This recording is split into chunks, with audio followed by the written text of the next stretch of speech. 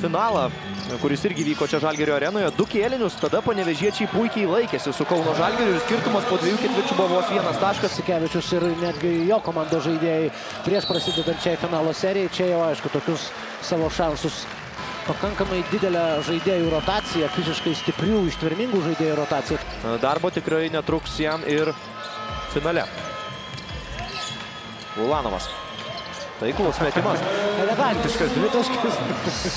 Edgaras Ulanovas didina skirtumą vėl iki keturių. Pavyko, tačiau metimas per silpnas.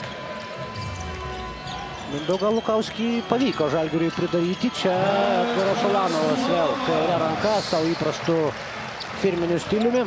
Edgaro Ulanovo žaidimas nugarai krepšį Vitaunas Isikevičius atrasdavo rungtynėse momentą, kada reikia tuo pasinaudoti Eurolygoje. Ne vienas mačas, kai ketvirtajame kėlinyje Ulanovas būdavo štai taip maitinamas ir dar vienas bandymas, Edgaras Ulanovas. Ir čia jau trečioji atakos kryptis. Komanda kaip Žalgiris matyti taip prastai šiandien metant čia baudas. 50 procentų, 5 iš 10. Liko dabar trečias žmogus. Dariušas Lavrinovičius, Mindaugas Lukauskis. Lietkabelio kom, Žalgirio komandai, kuri yra favoritas, tai nebuvo tiesiog viešiesiems ir šiam skirti žodžiai. Krepšininkai iš tikrųjų tiki savo galimybėmis.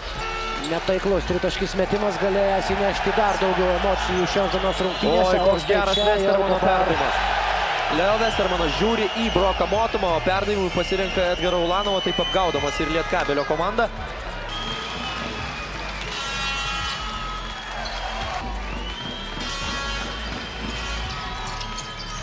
Kauno Žalgirio problemos panašios pirmose rungtynėse, bet žalgiriečiai turi penkių taškų persvarą. Gintaras Leonavičius prieš Edgarą Ulanovą blokas. Oh, Edgaras Ulanovas pučia kamolį už aikštės ribų išgelbėdamas komandą nuo labai pavojingo Leonavičiaus prasiveržimo. Šiek tiek išsprūdo iš pradžių kamolys iš rankų Leonavičiui. Su panevežiečiams beveik nebelieka Lukas Lekavičius, Edgaras Ulanovas. Padaro pauzę, veržiasi arčiau krepšio ir taiklus metimas. Rungtyniauja Žalgiris, žiūrėsime kaip seksis šiai komandai pulti. Krašte Edgaras Ulanovas, metimas yra taiklus, atrodo problemų tikrai nėra, kai ir sėda kapitonas ant suolo, grįžo į aikštę ir dabar jis su Broku Motumu sudaro priekinę liniją. Edgaras Ulanovas iš trijų taškų zonos ir metimas yra taiklus. Tai antrasis Edgaro Ulanovo tritaškis ir šį kartą faktiškai veidą jam kvepavo Mindaugas Lukauskis ir ranką buvo iškėlęs, bet viena iš Lietkabelio problemų po tris turi trys krepšininkai. Skučas, Kristofas Lavrinovičius ir Benas Medžinas. Edgaras Ulanovas šiandien puikiai jaučiasi. Gustolima, metimas iš toli nėra taiklus. Ir atkovoja kamuolį Edgaras Ulanovas, kuodžiantis į priekį. Ir štai taip, Edgaras Ulanovas bandė įdėti per Žygimantą Skučą. Ir ji be jokios abejonės tikrai yra brangi, nes sužaistos vos minutė ir 16 sekundžių. Žino kamuolį Kevinui Pangosui, Pangosas vėl Edgarui Ulanovui. Lukauskio pražanga iš nugaros kabinasi ant rankų. Įstoja į klubą po 3-4 kartus prasižengusių žaidėjų. Čia dar kartą pražanga Lukauskio timptelėjo Ulanovo kiek sunkiau sekasi tolimais metimais varžovus bausti Žalgirio snaiperių. Edgaras Ulanovas prieš Donatą Tarolį. Du baudų metimai, o po to vieną mes Benas Medžinas Lietkabelio komandai. Turėjo akimirką tikrai laisvės, kai Simas Galdikas buvo pasitraukęs po krepšių. Pražanga. Tuvos rytas žaidžia dėl bronzos. Tai manau, kad jeigu žiūrint per šią prizmę... Spaudė kaip reikiant yra žalgiriečiai. Ulanovas Jankūnui, Jankūnas vėl gražina kamolį Edgarui Ulanovui, prie jo Gintaras Leonavičius, Paulius Jankūnas. Na įdomu tai, kad Žalgirėje Leo Westermanas nėra surinkęs taškų, Lukas Lekavičius nėra pelnęs taškų. O Edgaras Ulanovas jų yra pelnęs visai nemažai. 52-57. Ulanovas dabar tolokai nuo krepšio gavo kamolį. Vėl Leonavičius vienas apsiginti nepaliekamas, saugus toli, Madut, taškai ir pražanga Edgaras Ulanovas. Kaip gerai skaito situacijas, kada yra dvigubinama gynyba, reikia atiduoti perdavimą laisvam likusiam komandos draugui. Gintaras Leonavičius prasižengė ketvirtąjį kartą nuo čia. Prišoka Galdikas, matau laisvą limą, perdavimas Jan, Laknis buvo laisvas. O dabar jau Ulanovas po krepšiu, išsimetant kamolį iš užgalinės linijos. Prašyti kamolio jį gauna, nugarai krepšį žaidžia Edgaras Ulanovas. Jankūnas, dar kartą Ulanovui, Edgaras Ulanovas sukasi ir pataiko. Edgaras Ulanovas sužaidžia šaltą kraujiškai, kantriai. Lukauskis su Viljamsu. Ulanovas. Ir pražanga fiksuoja Jurgis Laurinavičius. Edgaras Ulanovas vienas taikliausių apskritai Eurolygos baudų metikų ir šiandien pataikė tik 3 iš 7. Dabar 4 iš 8. Neturėtų būti surprizas jam toks Mindaugo Lukausko žaidimas. Minėjo, jog abiejose rungtynėse pasižymėjo.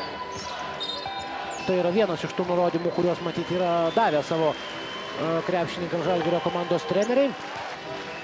Na, Kazį Maksvyčiui veikiausiai reikės vėl į rotaciją įtraukti Donatą Tarolį. Gali dabar pasidžiaugti. Leonavičius prašo palikti į vieną prieš Broką Motumą. Komandos draugai išpildė Gintaro Leonavičiaus prašymą, bet kol kas stringa Lietkabelio veteranas. Lukauskis nepataiko. Medžinas prieš Motumą, Australų mikrodvikovą. Čia jau Edgaras Ulanovas. Sėkminga ataka, čia Edgaras Ulanovas. Paulius Jankūnas. Netaiklus metimas Edgaras Ulanovas. Po krepšių pražanga Simui Galdikui ir Na, rizika pasiteisino. šį kartą. Kito varianto nelabai yra. Per anksti įžengė į baudos aikštelę Antanas Broliai Lavrinovičiai, bet ir Mindaugas Lukauskis. Labai geri tarpusavio ryšiai. E, Jo bendras e, statistikos e, vidurkis yra 10 taškų per kiekvieną mačą ir jau padaro Paulius Jankūnas. Edgaras Ulanovas. Sudėtingas metimas. Gerai gynėsi Žygimantas Kučas, atrodytų uždarė Edgarui Ulanovui patogiausią variantą, tai yra metimą kairė ranka, bet vis tiek Žalgirio polėjas išsisuko. Kevičius net sviedžia mineralinio vandens buteliuką. Štai Ulanovas prieš Tarolį, centruoja. Ir štai, du taškai. Tas Žalgirio polimo rezervas, kurio tris kėlinius nenaudojo kauniečiai. Klasikinis Edgaras Ulanovas. Edgaras Ulanovas. Vėl prieš Gintarą Leonavičių. Dabar jau ūgio persvarą turi Žalgirietis. Ir vėl viską daro teisingai. Ir kamuolį apsikovoja. Na, kartais tiesiog nekrenta. Vienintelė kol kas, jeigu daugiau neprireiks rungtynių pergalė panevežė pasiekta šį sezoną. Edgaras Ulanovas dabar veržėsi po krepšių ir priverčia varžovą prasižengti. Dar Lietkabelio favoritų niekas šioje serijoje nelaikė. Tai, kad rezultatas 3-1, jeigu šiandien laimėtų, tai būtų, tai būtų fantastika. Jeigu... Leo Westermanas. Spėjo prie Benas Medžinas. Čia jau Mindaugui Lukauskui tenka grumtis su Edgaru Ulanovu, ne visai lygi tarpusavio dvikova. Ir čia prieš jį jau tik tai Benas Medžinas, nepaisant to pats Antanas Kavaliauskas. Neišnaudoja savo jo šansą, tačiau Žalgiris turi savo gretose Edgarą Ulanovą. Finalinis startas buvo nelemtas atsitiktinumas. Edgaras Ulanovas taip pat nuolat kalbame apie jo atliekamą darbą. Edgaras Ulanovas pataiko abu baudų metimus. Ir pražanga puolant varžovų krepšį. Kovojo Skučas su Ulanovu ir Jankūnu, bet dar pribėgo ir trečias žalę aprangą vilkinti žaidėjas. Pataiko pirmąjį savo baudos metimą. Tai dabar dar du baudos metimai labai sėkmingai išnaudoja pražangas. Bet ir tai labai gerai Lietkabeliui, nes komanda buvo visiškai įstrigusi ir supančiota Žalgirio gynybos. Po ketverių rungtynių. Būtent su, tokia, su tokia intensyvia gynyba Lietkabelis faktiškai visą sezoną jaučia metimą. Antrasis polėjo tritaškis. Šioje serijoje daugiau nei vieno nebuvo įmetęs ne vieneriose rungtynėse.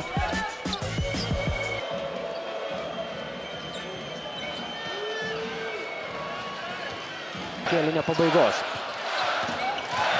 Lukauskis persekioja Milaknį taip, kad pastarasis net negali kvėptelti.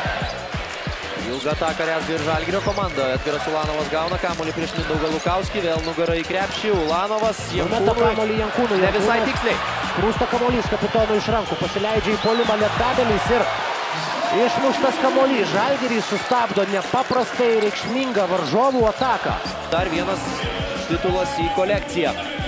Ir taurė lieka Kaune. Visos lygos naujienos tik LKL feisbuke.